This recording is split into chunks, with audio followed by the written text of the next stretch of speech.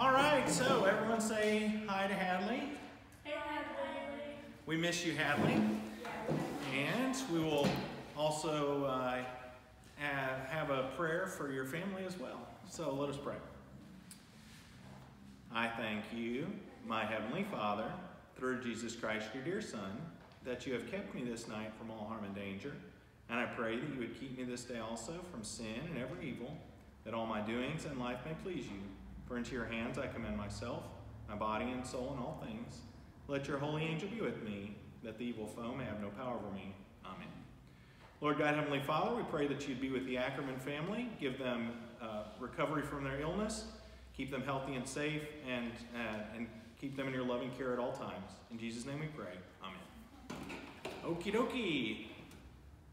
So, we are at the heart of the Christian faith. So, I think we've talked a little bit before about how the catechism can kind of be thought about as the, the, the, first chief part, the first main part is the Ten Commandments.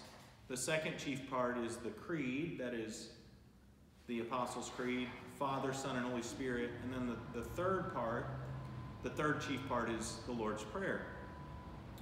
The sacraments, baptism, absolution, and the Lord's Supper, kind of fit under the third article of the Creed, which talks about the forgiveness of sins and the work of the Holy Spirit. And so if you think about the, the last three chief parts as part of the third article, what this ends up doing then is you have the Ten Commandments first, the first article of the Creed, then you have the second article of the Creed, the third article of the Creed, and the, the Lord's Prayer. In that case, then, the very middle point would be the second article of the Creed. And that would be a, a, great way of looking at it because the second article of the Creed, which deals with Jesus, is the heart and soul and center of our Christian faith. That's why we are Christians, because we follow Christ. And we are about to celebrate Christmas, which comes from the word Christ plus Mass. And Mass was an old way of describing the worship service. It was called the Mass. And so Christ Mass was the worship service on the day celebrating the birth of Jesus, December 25th. So that's where you get Christmas. Christmas really on December Uh, almost certainly not, but that was the traditional date that somewhere in the early church they settled on. But it's we can ask when we get to heaven. It's it's very unlikely that it was on that day. Um, I would say there's a one out of 365 chance that it was on that that particular day. Okay, so we are on. All right, we're on page 57, study guide 16. And we're discussing Christ in the state, his state of humiliation. So, uh, what are the two natures in Christ, Valerie?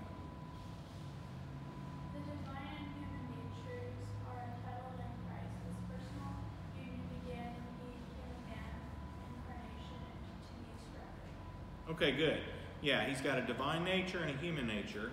His human nature begins at the time when he is incarnate. The Son of God takes on human flesh in the womb of the Virgin Mary. So, divine means his God nature, human means obviously his flesh and blood, body and soul, human nature. What is John 1:14, Madeline?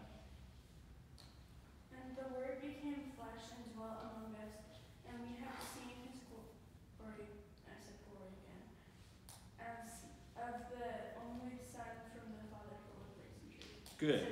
So- All right, that's all right. John 1 begins In the beginning was the Word, and the Word was with God, and the Word was God. He, uh, so, so the Word was with God, and the Word was God. Now that sounds extremely confusing, but what it means is the Word was with God the Father, and the Word was God because it was God the Son, and then the Holy Spirit, the third person of the Trinity, was with the Father and the Son uh, then as well. Okay,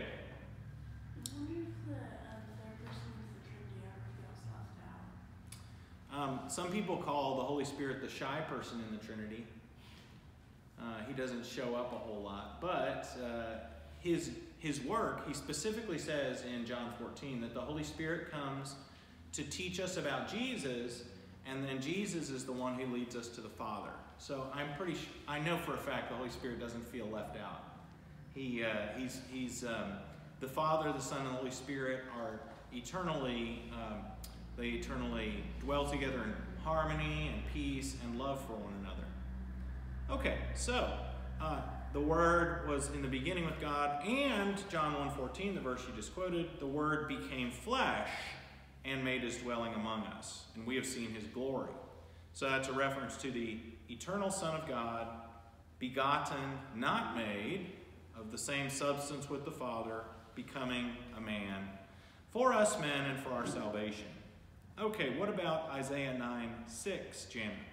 I went through my study guide and I told myself I would go back to it and I forgot I wrote these two down. So you didn't write the, these two verses? Yeah. Okay. All right. Well, it is for. Have you ever heard of Handel's Messiah? Uh, Alleluia, Alleluia. You know that? No? You've heard it before? Yeah. But anyway, part of Handel's Messiah, this very famous work um, about the life of Jesus, is For unto us a child is born, unto us a son is given. So that's Isaiah 9 6.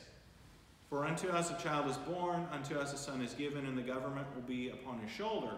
And he shall be called Wonderful Counselor, the Mighty God, Everlasting Father, Prince of Peace. So that verse describes the two natures in Jesus very well. For unto us a child is born describes his flesh and blood, human nature. The fact that he is mighty God indicates his divine nature. So it is a very clear truth from the Bible that the Son of God became a man, Jesus Christ, who is a divine and a human nature. There are some people today, well, many people today really, who reject that teaching, who don't believe it. They believe that Jesus was only a man. He was a really important man that God created and sent in order to, you know, do good things for us and teach us how to be good people. But they don't believe that he's also the Son of God along with the Father and the Holy Spirit. But as Christians, we believe what the Bible teaches that he certainly is. Do they still celebrate Christmas?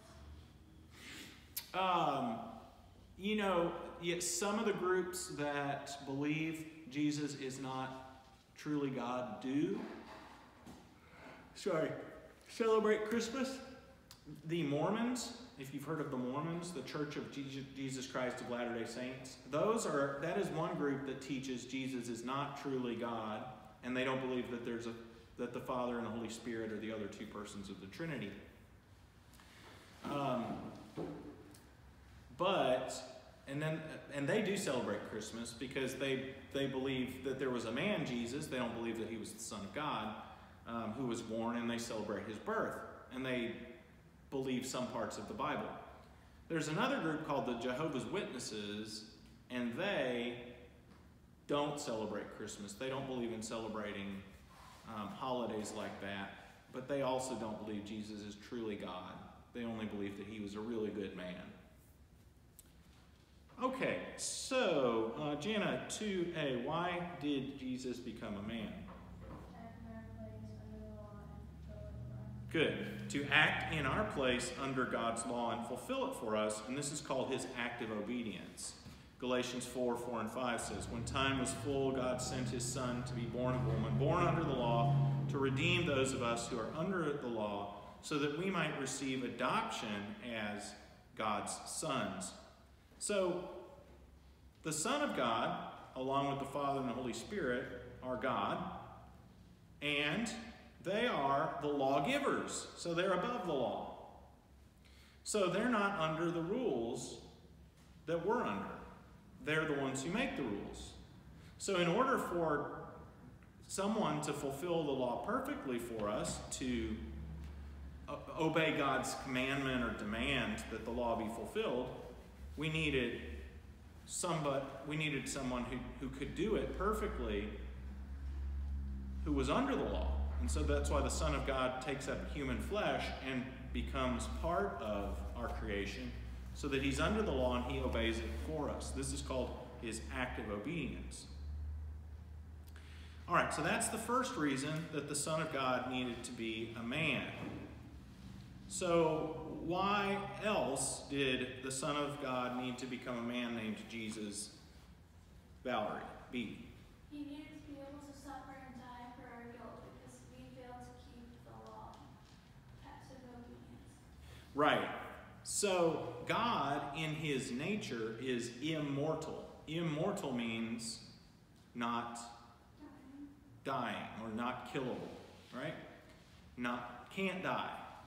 So, in his uh, so God in his divine nature cannot die. Therefore, in order for him to offer that sacrifice to pay for our sins, God had to become a man so that he could give up his life, sacrifice his life for us.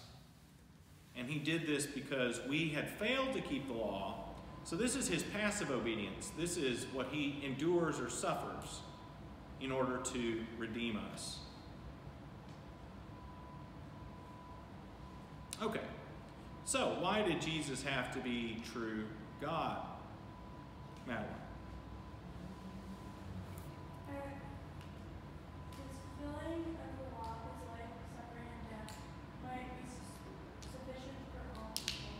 Yeah. So that his fulfilling of the law and his suffering and death would be a sufficient ransom for all people. Psalm 49 7 says, No human, no regular human like us can give our life for another to prevent that other person from dying. So let's say somebody burst in with a gun and I jumped up and ran at them and tackled them and incapacitated them, but they shot me in the process and I saved all three of your lives. People would call me a lifesaver, right? And you would you would be thankful that I was here to save your life from this really bad person. But what even if I would have saved you from that being attacked, what what's still going to happen eventually to all of us? We're all still going to die, right? So one person can't etern- forever save the life of another person, even if I might be able to save the lives of some people. So that's why I don't think that we should call doctors and firefighters and paramedics lifesavers. We should call them Death delayed. death delayers. Exactly. I've said that before, right? No? Well, that's that's what I, I like. I like uh, to call it, death delayers. Um, That- That's kind of, like, we just delayed the problem. yeah, well, we're just putting it off. We're kicking it. Have you ever heard the expression "kicking the can down the road"? Just putting it off for a while longer, Alright, or delaying the inevitable is another way of putting it. just put it in the trash can. right? Okay, so um, so Psalm 49 verse 7 says, "No one can give his life as a ransom for another." But Mark 10 45, Jesus says there, the Son of Man, that is God's Son who became a man, came not to be served, but to serve and to give his life as a ransom for many, or actually the many, the masses, to give his life as a ransom for all people, to save us from our sins. And so, only the death of the man who is God could be sufficient enough to pay for all of our sins. And that's exactly what he does. Okay, what's then B, the other thing that um, he needed to be God for? Yeah, to overcome death and the devil for us. So 1 Corinthians 15 says, Death, where is your sting? Death is there. Death, where is your victory? The sting of death is sin. The power of sin is the law. But thanks be to God who gives us the victory through our Lord Jesus Christ. So it is through Jesus Christ that we receive victory over death, a victory that we could never have achieved on our own. Um, yeah, and in Hebrews Yeah, question. If God knows everything, then why would He still make humans if they kn- if He knew what we would do? If he knew that we were going to sin, well, that's a um, it's a it's really an impossible question to answer because in order to answer it, we'd have to know exactly what's inside of God's head. So all we know is what He tells us in the Bible, and He doesn't ever answer that question directly. Um, what we do know, though, is what happened that He did create us, that He did give us the ability either to love and obey Him or to reject Him. Okay? So He gave us that ability. If He hadn't given us that, that ability, we would just kind of like be robots, right? We'd be like computer programs or androids. You know, we would not have any sort of ability to really choose anything. So, in that case, then we really wouldn't um, you know, actively choose to love God either. Um, in, so some people think that maybe in, such a world where nobody had any choice whatsoever, love wouldn't even be a possibility because love really is a decision to to shower your kindness and affection upon another human being. So that's one way of thinking about it is that if God if God would have made us in some way where we couldn't sin, then how would we be able to love him? Okay? Um, but what we do know is that Adam and Eve, of course, chose wrong, and we've been choosing wrong ever since. But John 3.16 says, God so loved the world that he gave his son, so that whoever believes in him would not perish, but have eternal life.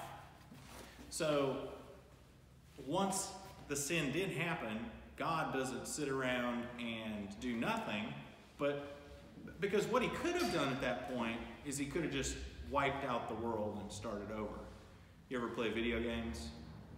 You know, you just hit the reset button and it just starts over. Well, God could have done that with the world. But in fact, what he does do is not hit the reset button, but he redeems it or saves the world through his son, Jesus Christ. So um, I think that you're asking a question that is a mystery. It's not something we can really completely understand. Um, because there's a lot of questions we can ask God. Why this? Why that? And we'll get to ask Him when we get to get to heaven. But in the meantime, we just have to trust what His Word says. So, good question. All right, so yeah, Hebrews 2 14 and 15 says that because we as human beings have flesh and blood, the Son of God took on human flesh and blood so that through his death he could destroy the power of the devil. The, the devil who had the power over us of um, uh, the fear of death. So Jesus has taken away from us that fear of death because through his suffering, death, and resurrection, he has won the victory for us over sin, death, and the devil. Okay, so those are the um, the reasons why the Son of God became a man and why he why our redeemer needed to be true God. So, what are the three main tasks or offices of Christ for A, B, and C? Who are we on? Are we on Janice still? You answer the last one? Okay, back to Valerie. Prophet, priest, and king. Yes, prophet, priest, and king. And these three offices in the Old Testament were ones in which the God set, chose or set apart these people to serve in their, their offices by anointing them. Okay? So he anointed them to, to be his, his chosen servants in these roles. And Jesus in the New Testament is our prophet, priest, and king because Acts 10:38 says that he was anointed with the Holy Spirit in his baptism, and the Holy Spirit descends as a dove and lands on him. At that point, he was anointed, or, or the Holy Spirit was poured out on him, and he has an unlimited, the un, an unlimited supply of the Holy Spirit. Uh, I did want to back up one for one minute. Unlimited supply of the Holy Spirit. Yes, he's got an unlimited. He, he can he can give the Holy Spirit to whoever he wants. But if he has unlimited, does that mean we have limited? Well, none of us can ever completely possess God because God is bigger than us, right? And so we can never, while God dwells in us, we can never actually completely possess Him, okay? But Jesus, John's Gospel says, Jesus has the Holy Spirit without measure, that is, un, in an unlimited way, because He is united with the Father and the Holy Spirit. The Son is united with the Father and the Holy Spirit. Also, I have a second question. Okay. Is he the only one who was baptized? Like, only one was Trinity? Yes, he's the only one who is baptized because he is the only one who has human flesh. So the Father and the Holy Spirit don't have flesh, they're just spirit. And so they, um, they, they don't, um, they don't, that while they participate in the world, they do so in a spiritual way through speaking, through working on our hearts and minds, but they don't do so in a physical way. So, I wanted to back up for a second and talk about the baptism of Jesus and the transfiguration of Jesus. The baptism of Jesus testifies to the divine and human natures of Jesus. Jesus stands in the water and has water poured over him as John the Baptist baptizes him. So that's his human nature. Why he's John Baptist. John the Baptizer, right? He's the one who baptizes. By the way, the reason he's called the Baptist is not because he was the founder of the Baptist church. That's a later title that comes up. But yeah, John the Baptizer or John the Baptist is the one who baptizes. Uh, God sent him to do this to prepare the way for Jesus. So, at his baptism, the Father says from above, This is my beloved Son, with whom I'm well pleased. So we have the Father speaking that this is the, the Son of God. And then the Holy Spirit comes down and lands on him like a dove. At the, at the transfiguration of Jesus, we see the human Jesus Christ standing there on the mountain, and his face and his clothes are transformed to be glorious and bright. So the humanity is seen there, but then also the glory which John spoke of in John 1.14, right? Wait, the same John who baptized Jesus? That would be a different John. So John the Baptist actually is killed. Um, I guess probably during the first year of Jesus' ministry. Her- King Herod has him beheaded. So John the Baptist becomes a martyr. Why did they kill that John? He was just a Baptist. What did he do? Well, John the Baptist not only baptized, but he also called on people to repent. And King Herod had um, stolen his brother's wife away from him. He had forced his brother's wife to divorce, and then he had married her. So John had said, You, you should not do that. You need to repent and fix this problem. So um, that's what got John in a bunch of hot water because he was calling on Herod to repent, to turn away from his sin. Okay, um, yes, and then yeah, the transfiguration of Jesus at that that event as well. The Father says from above, "This is my beloved Son, with whom I'm well pleased," and he adds these words: "Listen to him." So as Christians, we are to always listen to the words of Jesus and put them into practice. Uh, okay, yeah. So Jesus um, then is our prophet, priest, and king. So in the Old Testament, the prophets primarily did what, Madeline? Um, they preached personally on earth. Okay, so yeah, they preached. So the main role of prophets was to call people back to the Word of God. So he, so they preached. They reminded people of what God taught in the Old Testament, and sometimes the prophets received visions or uh, oracles or revelations about the future, and they would write those things down and then pass them on to God's people. And Jesus then will end up doing exactly the same thing. Uh, three, uh, 5a, why is Christ considered a prophet? Okay, good. Yeah, because he preached about God, he made God known. Also, probably the simplest answer would be because the Bible calls him a prophet. Uh, it specifically says that he is, is a prophet. Um, He just is. yeah, he just is. And, you know, God, God says that he is, so he definitely is. So, B, then, how does God carry out, or how does Christ carry out his office as prophet today? Va- uh, Valerie. Through the preached gospel today, he still proclaims himself himself to be the Son of God, remain Redeemer of the world. Very good. Yeah. Um, through the preaching of the gospel today, through the administration of the sacraments, through the scriptures, through the Bible, he continues to preach to us today.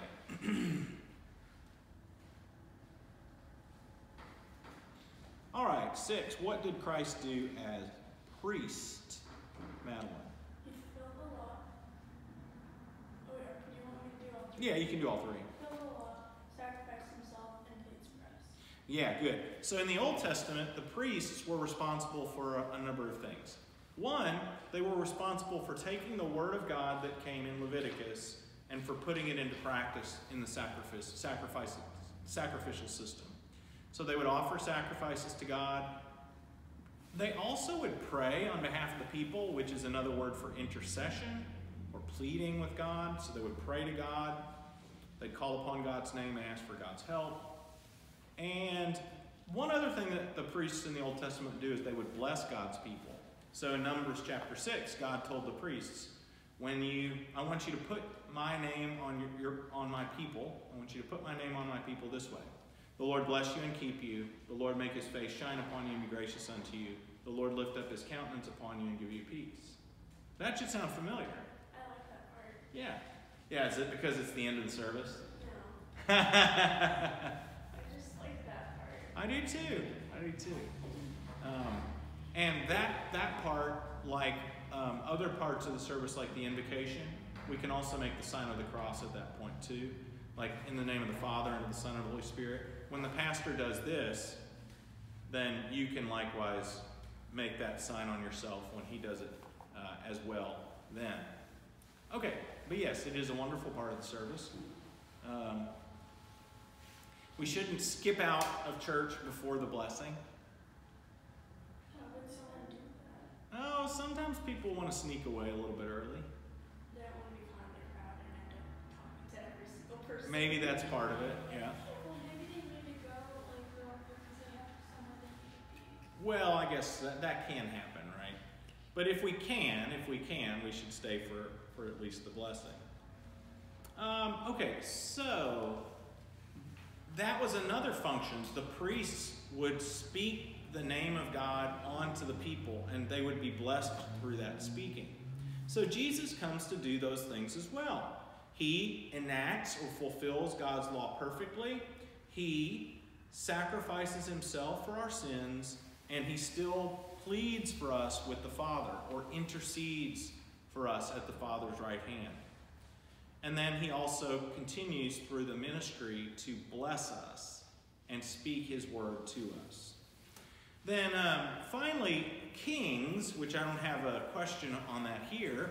In the Old Testament, kings were anointed or chosen to lead God's people, okay? To lead the people, to judge his people, and to fight for his people. And so, as king for us today, Jesus fights the devil and the satanic horde for us. He continues to lead us through his word, and he will come on the last day to judge the living and the dead. So, the role of Christ as king, uh, he specifically says, when the king comes in his glory and all of his angels with him, then he'll sit on his glorious throne, that is his judgment seat, and he'll separate the sheep from the goats. We're sheep, right? Not goats. What's that? Are the sheep and goats? I am Jesus' little goat. No, I'm little lamb, right? If uh, and what's a little goat called? A kid. a kid, right? So I'm not little Jesus, Jesus' little kid. I'm Jesus' little lamb. Yeah. Okay, so let's talk now on number seven about the stages of Christ's humiliation in order of occurrence on the stair steps below. So this corresponds to the his state of humiliation in the creed. So, I believe in God the Father Almighty, maker of heaven and earth, and in Jesus Christ, his only Son, our Lord, who was one, conceived by the Holy Spirit, two, born of the Virgin Mary, three, suffered under Pontius Pilate, four, was crucified, died, and then five, he died, and six, he was buried.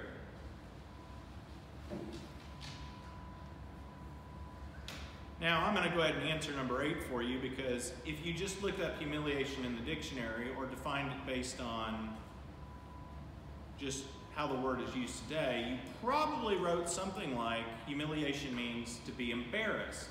An actor instance of, of humiliating or being humiliated. It's what? That's what I got on dictionary.com. What is it?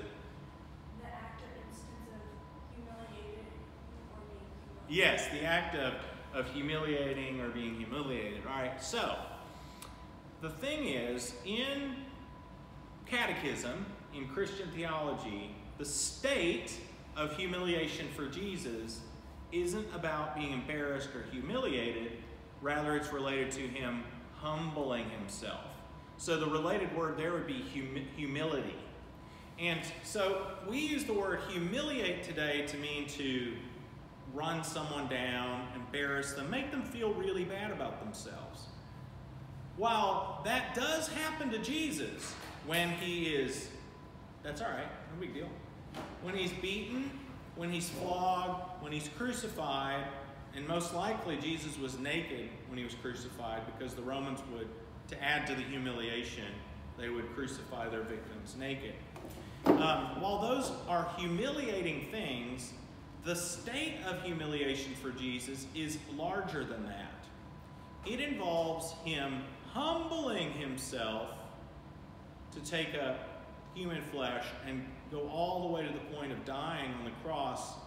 And he actually calls him a slave. So he was he became the lowest rung of society. He became a non-citizen. He became rejected, despised by men. Um, so humiliation here means to Jesus humbled himself and did not always use or fully use his divine power. Okay? So that's the answer I want.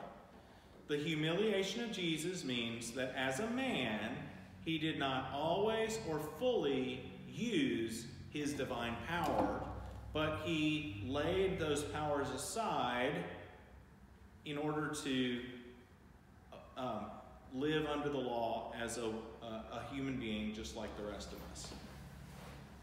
Now, there are times when he will use his divine glory, he will manifest his divine glory. But usually, his state of humiliation means that he humbles himself and does not use his glory.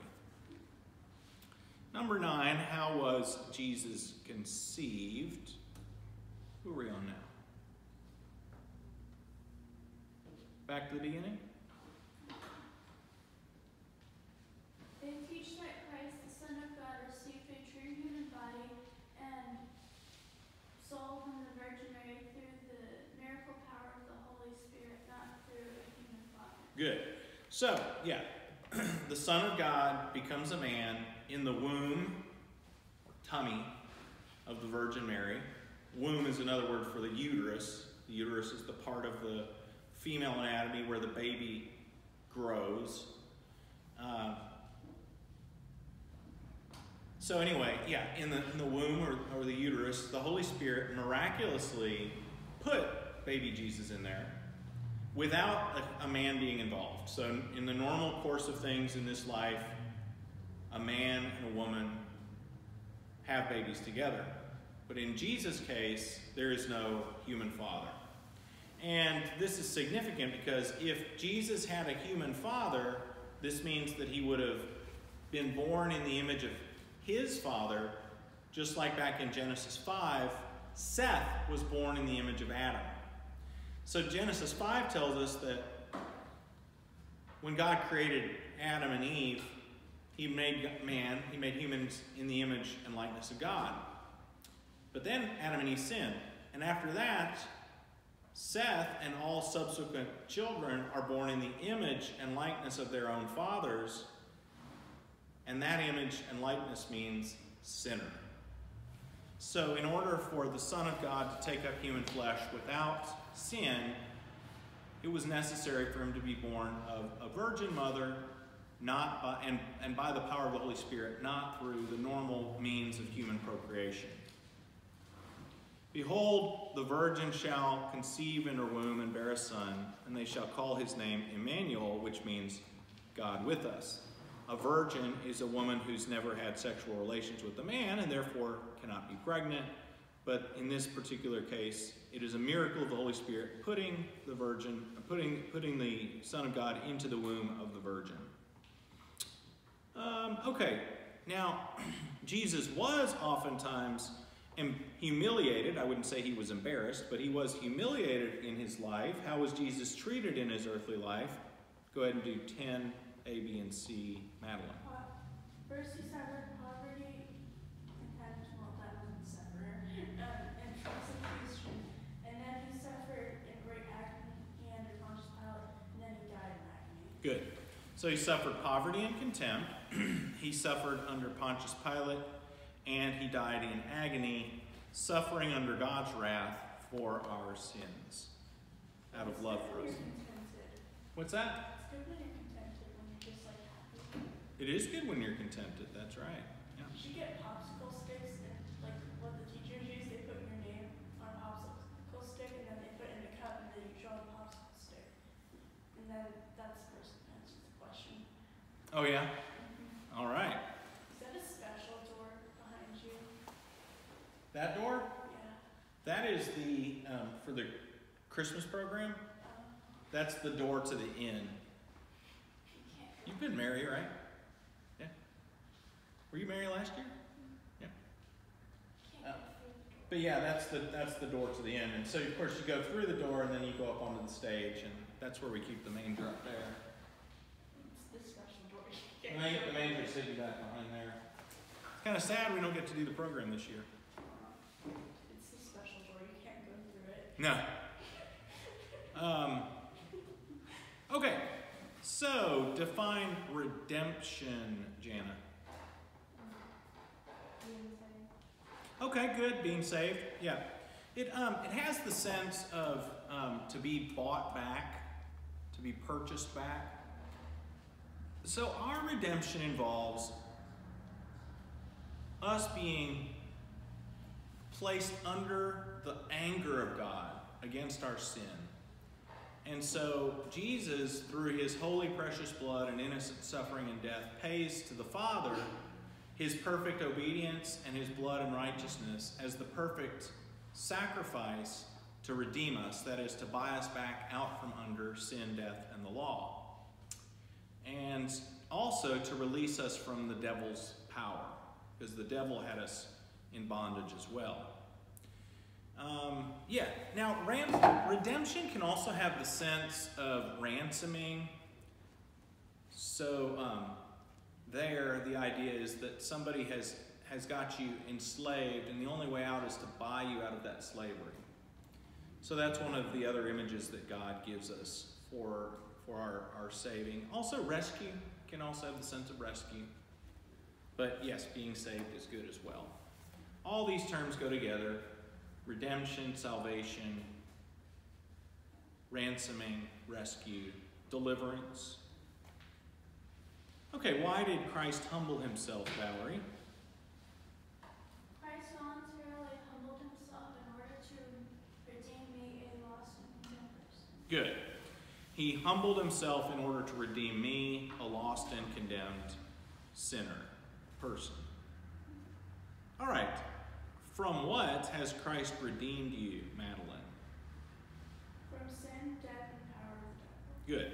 So John 129 says, Behold the Lamb of God who takes away the sin of the world.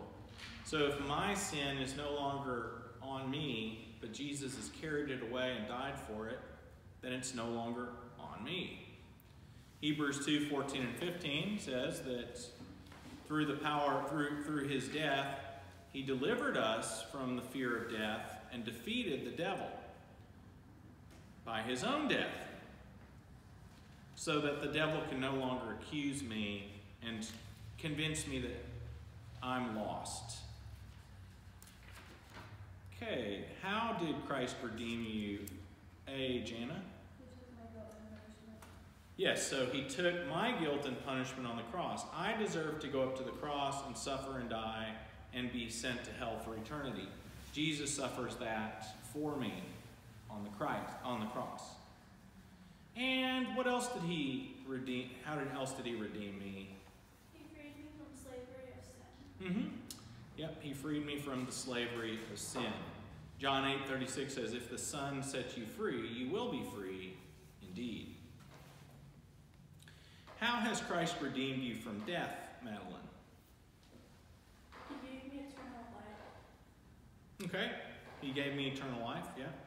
So he suffered, died, and rose for me, and he triumphed over death so that I don't have to be fearful of death and I can be assured that my sins are forgiven.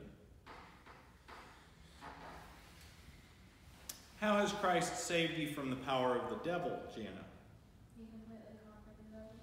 He conquered the devil so that the devil can no longer accuse me of my sins, and now, by the power of the Holy Spirit, I can resist the devil's temptations. Okay, so with what has Christ purchased and redeemed me? Christ has redeemed me with not, not with gold or silver, but with his holy precious blood and his innocent suffering. Yes, very good. He's redeemed me with his holy, precious blood and with his innocent suffering and death. And he's done this so that I may be his own and live under him in his kingdom and serve him in everlasting righteousness, innocence, and blessedness, even as he is risen from the dead, lives and reigns to all eternity. This is most certainly true. So he has redeemed me so that I follow him and live under him in and will enjoy forever his kingdom. How does this work of redemption benefit you, Madeline?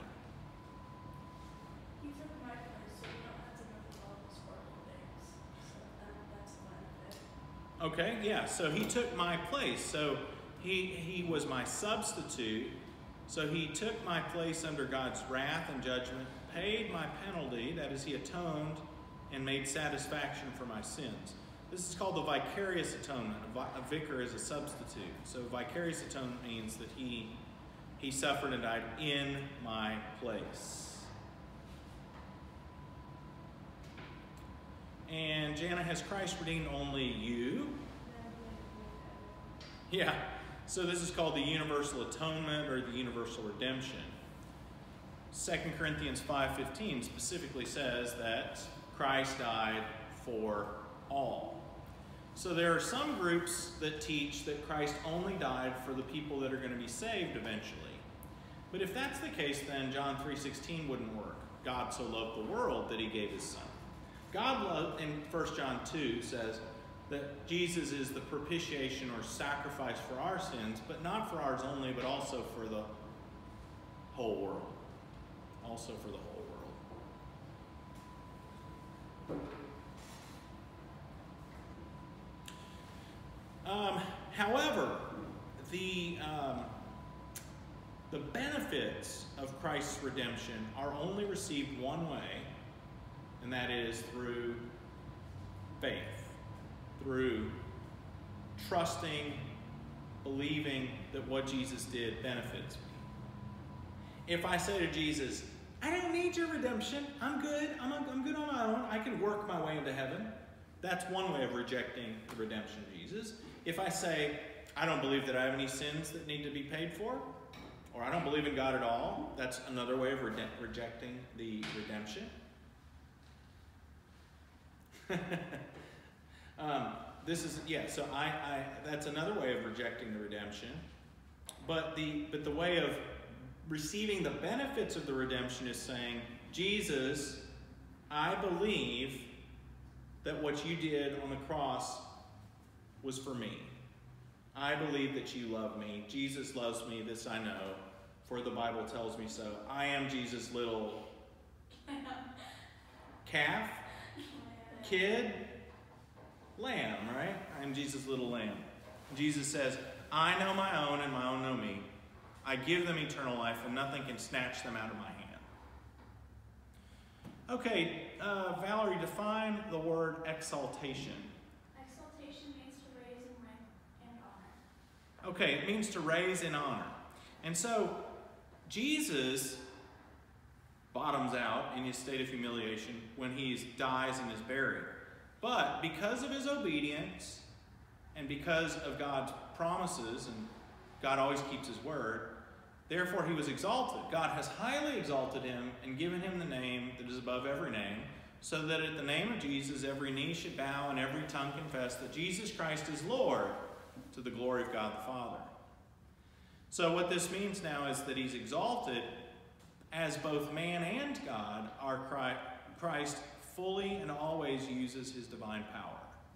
He fully and always uses his divine power.